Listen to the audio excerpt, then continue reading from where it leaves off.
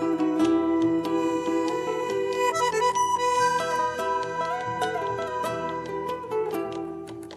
you.